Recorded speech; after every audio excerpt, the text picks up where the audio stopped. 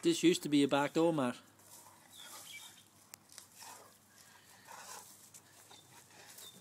Dickhead.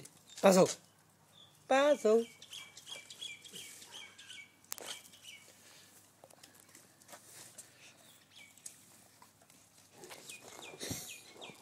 Get nuts.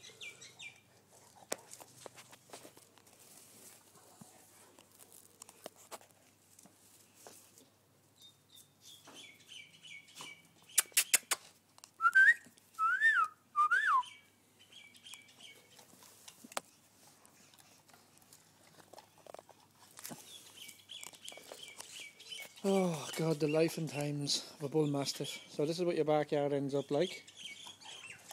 You can hear him. Snotty boy. And this is what we'd have to do to the back of the house.